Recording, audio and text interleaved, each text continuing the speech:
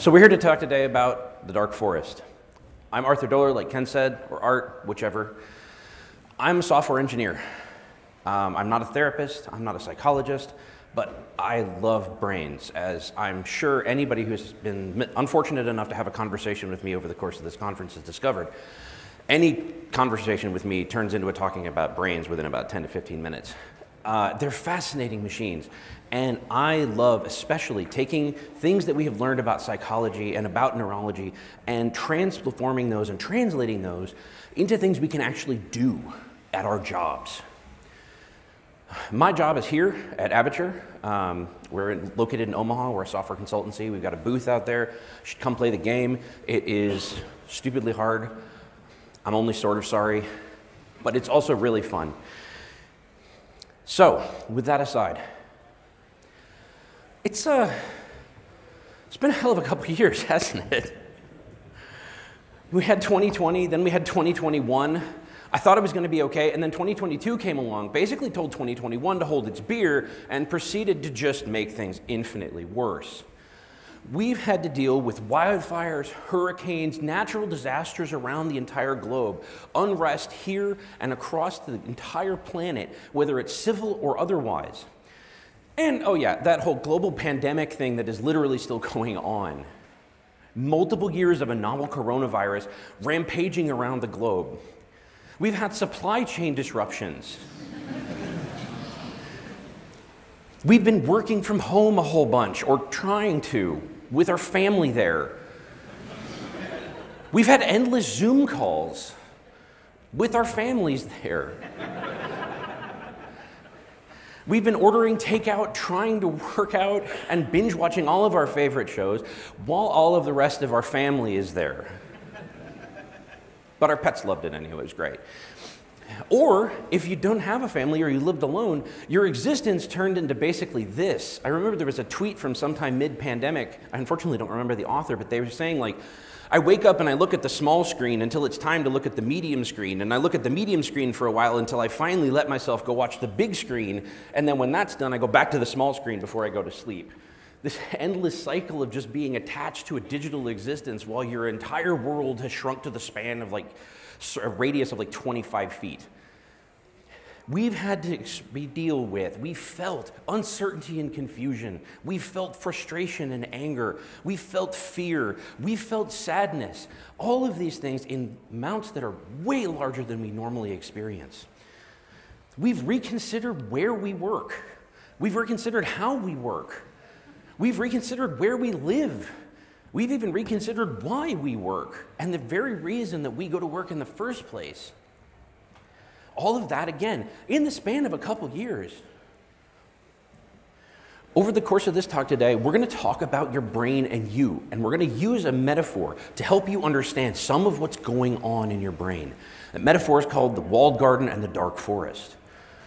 Then we're going to talk about what your brain did during the pandemic in the light of that metaphor. And then we're going to talk about how you survive fires like that global pandemic and how you prepare yourself for the next one that inevitably is coming along. We've had a tremendous number of thoughts and emotions happening. All of these things building up over time in that relatively short period of time. Now, psychology has a word for this. They call it stress, which is just so overwhelmingly generic that it's hysterical. If stress gets bad enough, they call it trauma. But trauma is actually a kind of problematic word these days. We've taken it and pulled it into the popular zeitgeist, and we're using it in ways that aren't necessarily specifically defined and don't necessarily match the clinical definitions. I much prefer the metaphor of thinking about trauma as brain indigestion. There's a therapist uh, named Britt Frank who has a book out called uh, The Science of Stuck, and she says that Brain indigestion is anything that happens too much, too fast, or too soon for your nervous system and for your brain to handle.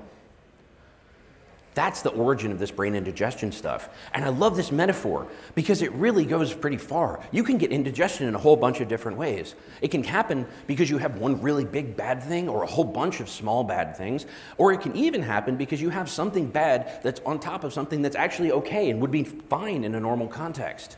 Just a little bit more on top of it makes it not okay. And even better, it shows that it's relative.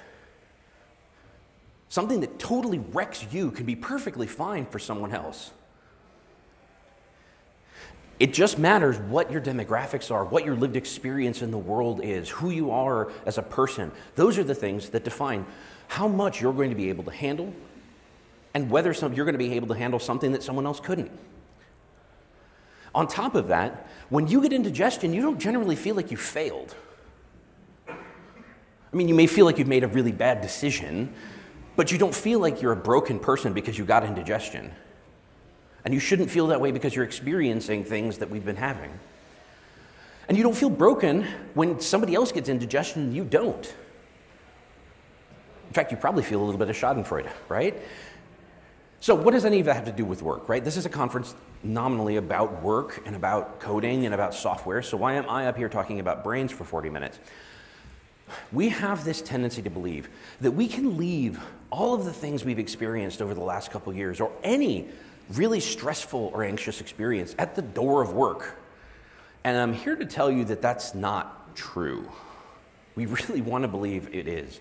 And I trust me, more than anyone else, I wish it were true. It would make my job an infinitely large amount of easier. But it's not. It's not true. We tend to think that our brains are the be all, end all of existence. We tend to think that the brain is just the number one champion organ in your body and it can do anything and it's great. That it's this infinitely expanding muscle that all we have to do is think a little harder and try a little better and maybe do some extra things and we can just accomplish anything and survive anything. And that's absolutely not the case. This is called the neurocentric bias. And it's really only arisen as we've started to dig into how fascinating and complex and, to be fair, wonderful the brain, the piece of wet meat that's sitting between your ears, actually is. But it has its limits. How many people used an alarm clock to get up today? Yeah. You're all acknowledging your brain has limits. You cannot magically wake yourself up at a certain point in time. Again, it would be really nice. But it's not true. Your brain is limited. And the systems that it is connected to physically in your body are also limited. But your brain is part of a bunch of larger systems too. Not just ones that it physically connects to in its body, although that's true, but external systems. Things like your alarm clock, things like your to do lists, things like your family or your partner who remind you of things sometimes a little much, but usually I'm needed. So these are the things that we use to help us extend our mind. And we do this naturally, but we don't think about it too much. This whole idea is called the extended mind. And if you go a little further down the road, they call it extended cognition, and it's actually, they talk about how these things fold into your very thought that your entire experience of cognition in the world involves and includes all of these external tools, which explains how all of us feel about Stack Overflow. That it's just kind of this other part of us. It's like, oh, yeah, that's where my memory is, it's over here. And while your brain is not a computer, it does have a kind of finite throughput capacity. This is generally called working memory.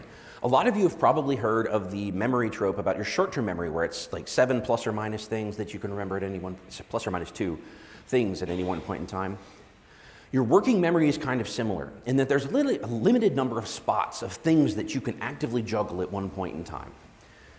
And when those things start to get overwhelmed, clogged up, it actually disrupts your ability to navigate through the world. And you might not even notice this is happening. You just actually think you're failing. Why does this happen? Why do we have to go through all of this? Well, let's get to that metaphor. Let's start talking about the walled garden and the dark forest. I want you to imagine the conscious part of your brain, the part of the brain that you tend to think of as you. As a resident of this garden, this glorious, small, beautiful garden with really tall, really thick walls. And the garden is wonderful. You can do a lot of things in the garden but it's actually kind of small. Conscious intentional thought is actually a fairly small portion of what your brain does. This is called the intentional self by Gleb Tsipursky, and it's a metaphor that I love. This is the self that has intention. Outside of the walls of this garden, is the dark forest. And the dark forest is everything else your brain does. All of the other processes and procedures and things that we've evolved over a period of time to do things to save us, to protect us. This is all of the other pieces of your brain.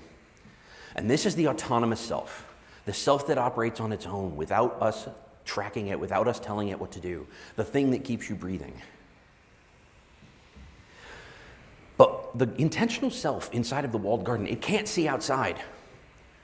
It cannot get outside the garden. The best it can do is kind of chuck messages over the wall, and something out there in the dark forest chucks messages back, but you don't know what.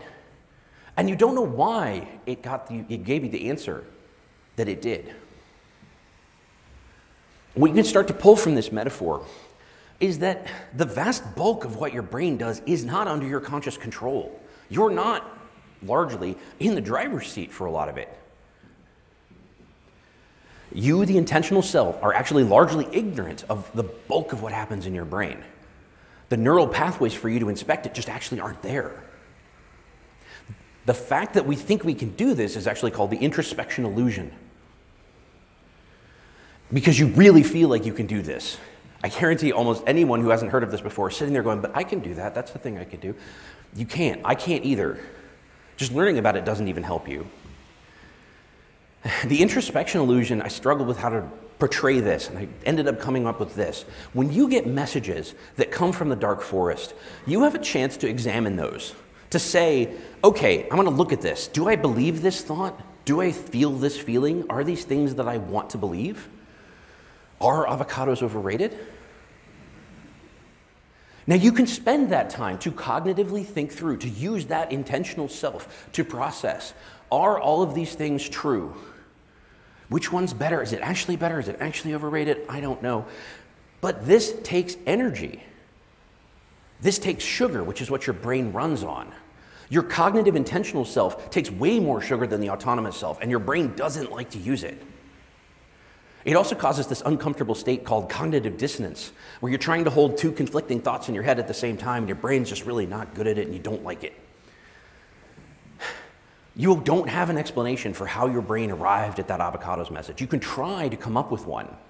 But most of the time, what we're going to do is just accept this is a thing I believe. This is a true fact from my head. Done. You start from that assumption. And then what you do is work with your autonomous self to actually come up with an explanation. This is called confabulation. So, for example, for avocados, you could say, Well, I don't like avocados because they're kind of slimy, and every time I eat them, I get a little bit nauseated. It's just not good for me.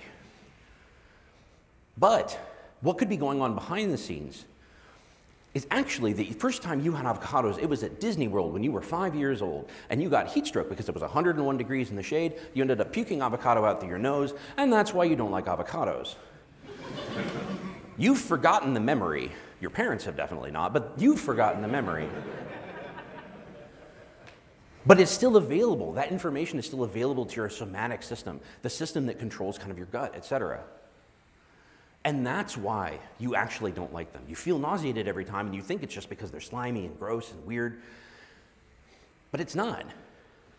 This is called confabulation. And confabulation is the process of coming up with a story that makes narrative sense, even when you don't have access to the real story, because your brain never wants to tell you it doesn't know the answer. If you ask your story, brain why something is true, why you believe something, it will never come back and be just like, I don't know, man always, it always has an answer. And the reason this happens is because, in part, the intentional system, the intentional self, is really just an exception handler for the autonomous self. The part of you that you think of as you is really just there because your autonomous self needs something that can think hard when something unexpected comes along. Think about driving to work. How many people have driven to work and you get there and you have no memory of the drive? Yeah, look around. That's a lot of people. That should be really scary. but we don't die in car crashes every day. We don't all just instantly get into our cars and drive into trees because our autonomous system is actually handling this for us. Just like, yeah, I got this. Go think your big thoughts. So we spend time thinking about this is what I'm going to do at work, or I got to go to the store because I'm going to go get tacos and it's going to be great. Yes, taco night. I mean, that's literally what we think about when we're driving. I listen to podcasts all the time. I'm in my head listening to the podcast. I'm not paying attention to anything. But you bet your ass, if an elephant shows up on the road, your autonomous system is just like, oh, excuse me. We have, we have a problem here and I need some assistance. Because it doesn't know how to handle this. You've never encountered this before. I mean, unless you have spent time in India or somewhere there are actual elephants that might be on a road. And when we're on autopilot, when we're bound up in the thoughts that our conscious self is thinking, that our intentional self is thinking. When we get tired, when we get hungry, when we get emotional, we are way more likely to fall into that confabulation trap, to let the autonomous self ride and just believe whatever's coming out of it and not spend the time and energy to examine those thoughts. And that can get dangerous. Because that dark forest is full of processes. It's not just one thing, it's a bunch of them that have evolved over time up in our brain back through all of our evolutionary history. And they tell us things like you should totally eat that last break room donut, or just skip the meeting, go take a nap, it'll be great. Or, yeah, you should totally stay up until 2 in the morning playing that new video game. Or just one more drink. Right? These are the things that your brain kind of tells you, and you have to consciously override them. But your brain is telling you these things because we, it evolved in an environment where you couldn't just go out in the, into the freaking hallway and get a Mountain Dew. You couldn't go out and get like, what, seven or eight donuts? How many do they let you take? Has anyone tested? you could just take as many donuts as you want, they're all free. You, we didn't evolve like that, right? Sugar wasn't an available thing. Our brain is not set up for that. You are a howling parliament of voices that is constantly vying for your conscious self's attention constantly trying to get you to do things, to behave in certain ways, to believe in certain things. But these aren't really you, like little yous. These are older, these are darker, these things have been around a while. These are wolves. And sometimes, when you're sitting in your nice walled garden, the wolves are howling in the distance, you kind of pay attention. And sometimes, the wolves are right up against the wall, howling, and they're the only thing you can think about. And sometimes the dark forest is pelting you with so many messages that there's no possible way that you can examine them all, that you can even look at them. And sometimes it's just one message over and over and over and over again. Your brain, these wolves are effectively running a distributed denial of service attack on you. They're trying to hack your brain. They're overwhelming your resources. That's what's happened to us during this pandemic. That's what's been going on over the last couple years. That's why you felt tired and anxious and depressed and sad. Because you're just overwhelmed with this howling, with this constant threat of being in danger, of things not being normal, of things that need addressed, novelty, all of these things, forcing you to engage that conscious self consciously. If you like psychology, or even if you don't, if you touch software at all, you should know who Donald Norman is. He is the single psychologist that like everyone should know in software because he does a ton of stuff of UI and UX and why it works the way it does. But he wrote this book called Emotional Design. And in it, he talks about how your brain kind of has two running processes. One of them is this cognitive logical process. The other one is this, what he calls affective process. And in psychology terms, that basically means like emotional. The affective process and its job is to sort your experience in the world into good and bad. And so, what you can do is run some experiments with this. I can actually turn around and put what's called a positive affect on you. I can tell you that you're awesome, that you're doing really good work, that you're, you know, gorgeous and glamorous and an absolute beast out in the world doing great things. And what happens is, if you believe me, you actually perform better on cognitive tests. You actually think better when you feel better. But the inverse is also true. If I tell you that you have a minute and 30 seconds left to buy these airline tickets, and there's only three of this on the flight left, and two of them are in people's carts, and if you don't buy now, you're an absolute freaking moron, I am trying to make you dumber. That's what's literally going on in these cases of what they call dark UX. I'm literally trying to get you to think less well, to make dumber decisions, so you buy my stupid airline tickets. Stress diminishes our ability to think and to control our attention. So, what happens when all of our routines are disrupted, when we're trapped and cut off from all of the things that have helped us manage our stress, when the wolves are howling, when everything is just going bonkers? What, do, what does our brain do? It screams at us constantly. It just sends all of these messages about everything is terrible and you need to be doing more and you need to be accomplishing more and how can you be doing this and just sitting around. But all you want to do is just like, please just let me sleep. The wolves are overwhelming your cognitive ability with a negative affect. And when this happens to us, we start seeking comfort wherever we can get it, wherever we have gotten it in the past. We start looking for ways to control our environment, however small or insignificant. Right? Like, this is a big part of why toilet paper was such a thing. It's a global pandemic out. I can't protect anybody from a global pandemic, but I can buy freaking toilet paper. Like, I will have the toilet paper and we'll be done with toilet paper for a couple months. Check. Like, it's literally a thing that helps you feel in control. We started finding new rituals, not always the most healthy ones. Not that hand sanitizer is bad, but I myself took it to excess at a certain point, right? And initially, our sympathetic nervous system, what they call that fight, flight, or freeze response, kept us rolling through the initial parts of the pandemic. That energy kept us going. But after a while, we almost kind of got used to it. You know, we acclimated to the situation. There was still this constant drip of cortisol, of stress, but we're like, okay, I can get through it. And then, individually, each one of us hit the pandemic wall. The point when all of our systems finally went, you dumb, please stop.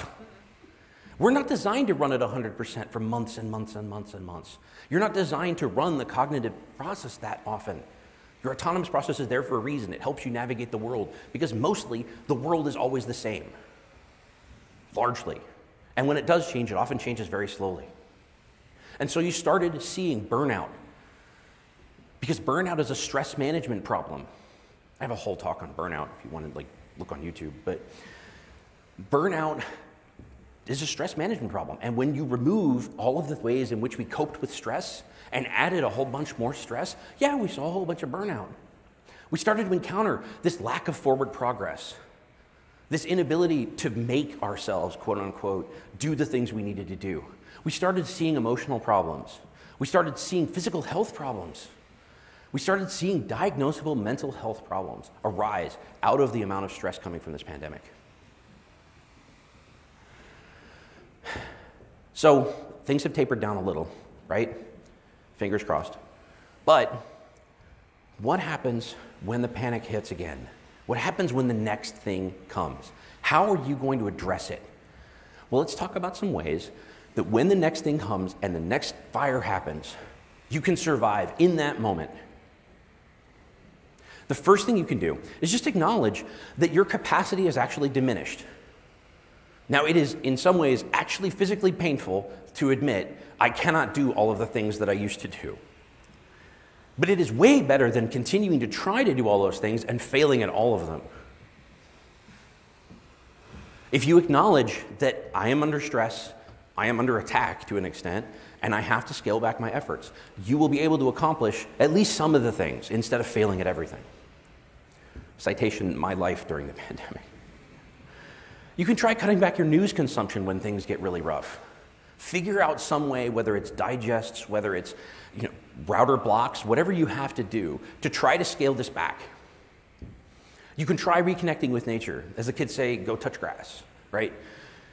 Find something that helps get you out of there, out of the environment where you are being constantly bombarded with stimulus, back into something that to be fair, is a little more like what your brain evolved to handle. That will make you feel better.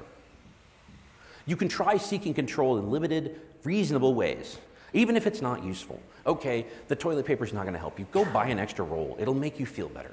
Don't buy a pallet of it, you know, an extra pack is not going to hurt you.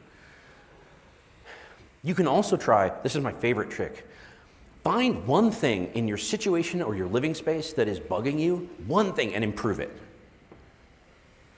How many people started home improvement projects during the pandemic? Yeah, it's kind of a natural thing, but it's a thing that can help a ton. Because again, it helps you feel like you're in control of your environment. It helps you look at something and say, I made something better. And your brain loves that. So, how do we bounce back from this? Can we even do it? Can we even come back to the full strength that we were at prior to the pandemic? Well, luckily, we absolutely can. You can recover. And I believe that in each one of you. But probably heard the saying, what doesn't kill you makes you stronger. Probably heard that saying a lot. It's wrong. Spoilers. Certainly, when it comes to your brain, it is not necessarily true. You are not going to automatically come out a stronger person from the other side of this experience. You don't just get it for free. There's a bunch of, I could spend probably an hour just talking about the research on this that I went down a rabbit hole on, about actual change as a result of traumatic experiences. But the downside is, when you have a traumatic experience, most of us will feel like we have changed, we will perceive change, but we haven't. And that actually makes us more likely to encounter stress and anxiety going forward in the world. So if you start from the assumption that this has damaged me to an extent, I don't necessarily become stronger, I have to work to get stronger, you will have a better outcome. And we'll talk about some ways you can do that in a minute.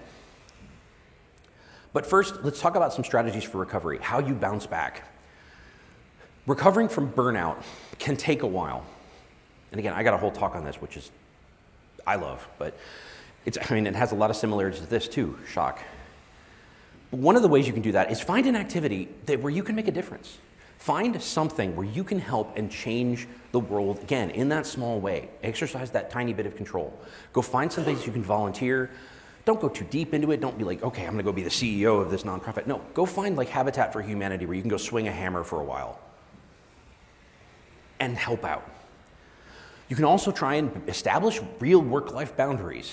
I know that's super hard, especially for folks who are here, because you care enough to actually come to a conference about coding, which is your job.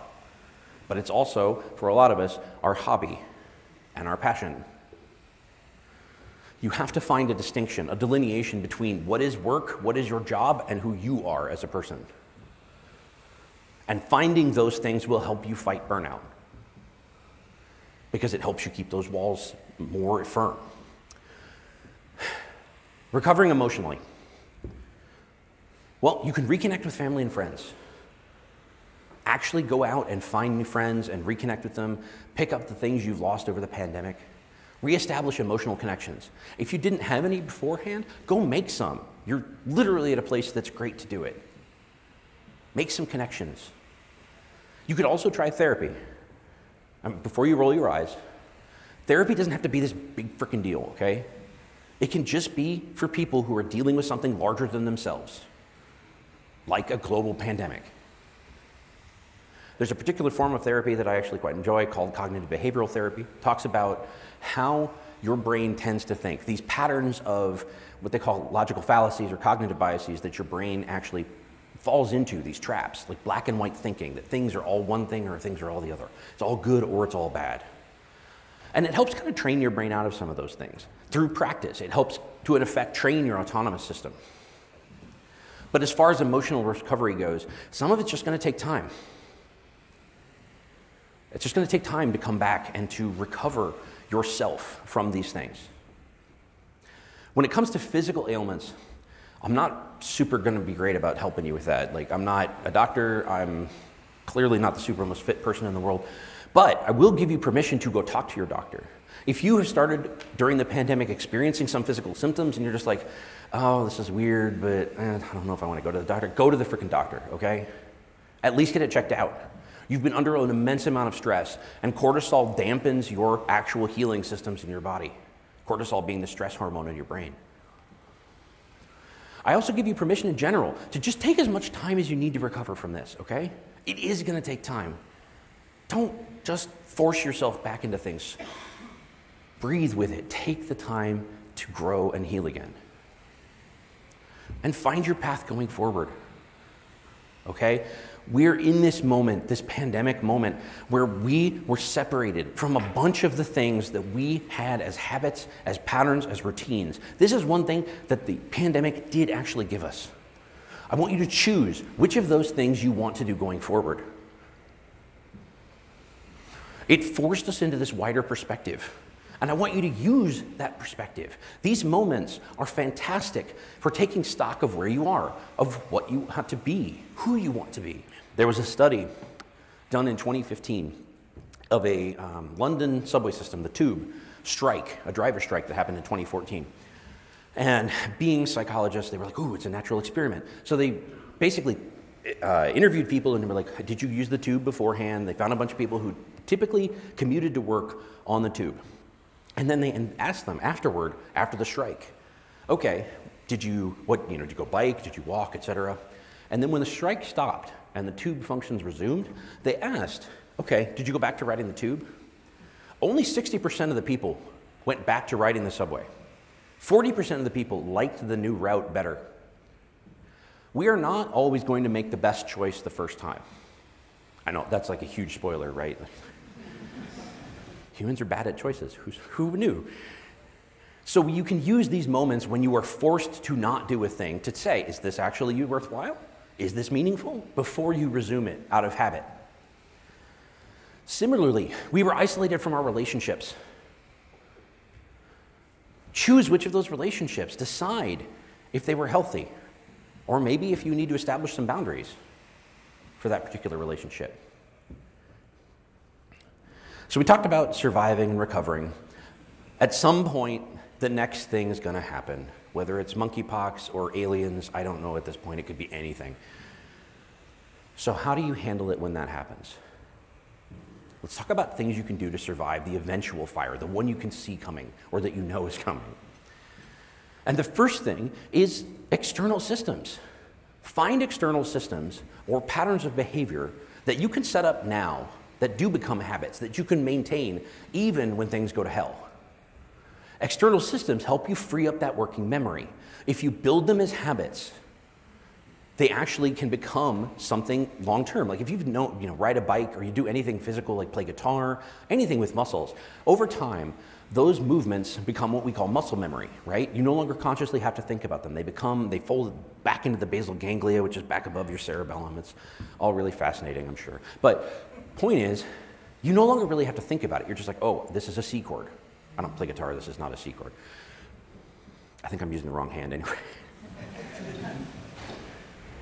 and if you can figure out now how to make these things muscle memory for you, then when things go to hell, you are much less likely to drop them. Ken mentioned that I meditate. I find this a useful tool to help me manage stress, and it's a thing that anybody can do. You need no equipment. You need you and your breath. That's basically it. And it's really hard to screw up too. Like there's no, oh, I have to empty my mind. Dang, I had a thought, that's bad. No.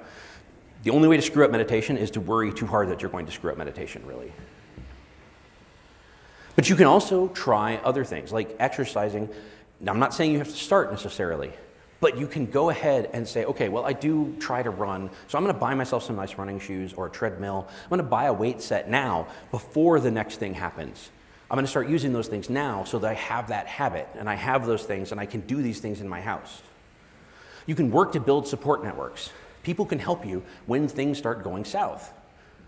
And that works great when it's personal.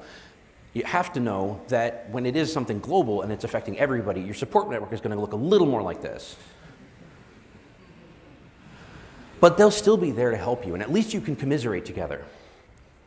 You can ask yourself things like, what can you solve beforehand so you don't need to think about it in that moment? Most of us live here in Nebraska, so we don't have a ton of, at least in the eastern part of the state, we don't have a ton of problems with, say, wildfires. But you can ask yourself, what do I actually need in an emergency? What do I pack for a bug out bag?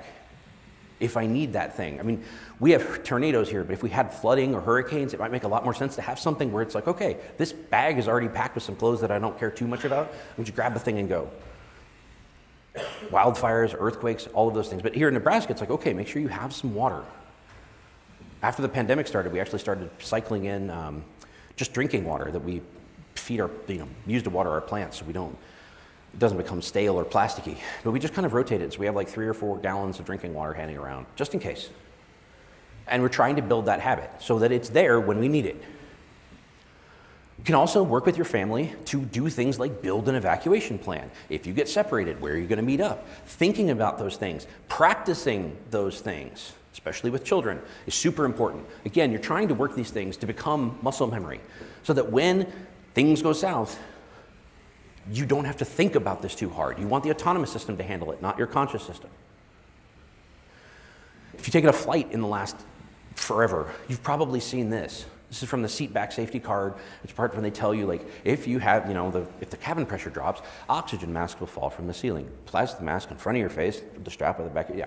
There's a section where they start talking about if you're traveling with a child or someone else who needs assistance, put your own oxygen mask on first and then help them. The reason they tell you this is because if you don't, you will put the mask on your child and then you will die because you don't have the oxygen in a pandemic, in a stressful situation, you need to take care of yourself first so you make sure you can maintain. That doesn't mean ignore everything else, but it means make sure you are maintaining your own habits, taking the time for those things. Because if you don't, you will start to fail others that you care about, that you want to be there for.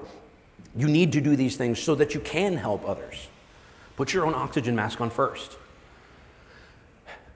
Because when the poop hits the fan, it's often those coping mechanisms, those external systems, if they're not trained enough, if they're not habit enough, that your brain goes, oh, I don't want to have to think about that. We're just not going to do it. And now you don't get the benefit of it. So, we talked about how to bounce back from some of this stuff, and we talked about connecting with community. And you're luckily at a place you can do a bunch of these things.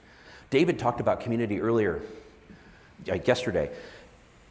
And I want you to go out there and I want you to connect with folks. I want you to learn new things. I want you to play. I want you to find what it was you loved about programming or find something in programming to love all over again. If you don't have a community, I want you to build one here. Start now. If you have a community, I want you to reconnect with it here today. And I want you to grow, to start that path toward recovery, to shake the dust of the last a couple years off and start forging your own path ahead, to start building your tools, your toolkit, your systems of support to help you survive the next time that you are under attack and the dark forest starts howling. I want to thank you very much for listening. If you have questions, you can catch me at the Aviture booth. I have another talk later today at like 110. You can catch me after that too. Thanks very much for listening.